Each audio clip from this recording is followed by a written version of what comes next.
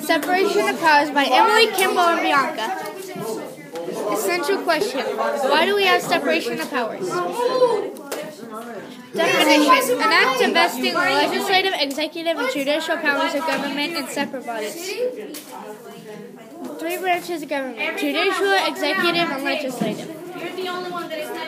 Something. Without separation of powers, the government will be one group with a lot of power.